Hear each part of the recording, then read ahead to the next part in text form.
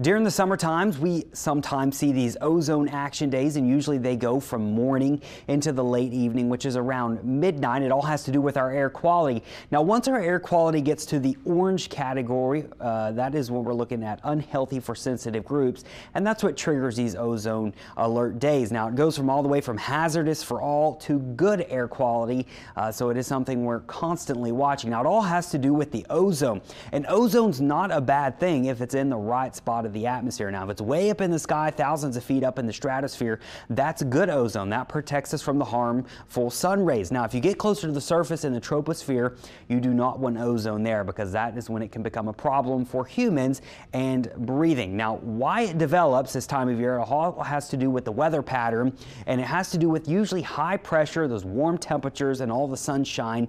With high pressure, you get a lot of calm winds, you get sinking air, there's not a whole lot going on, so that ozone is able to develop. It doesn't mix up out of the atmosphere, and that's exactly what we see as we go throughout the summer months. So what can you do to protect yourself if you are in that sensitive group? Well, if you have asthma or breathing issues, just try to stay inside, especially during the afternoon and evening hours, usually when it's at its highest.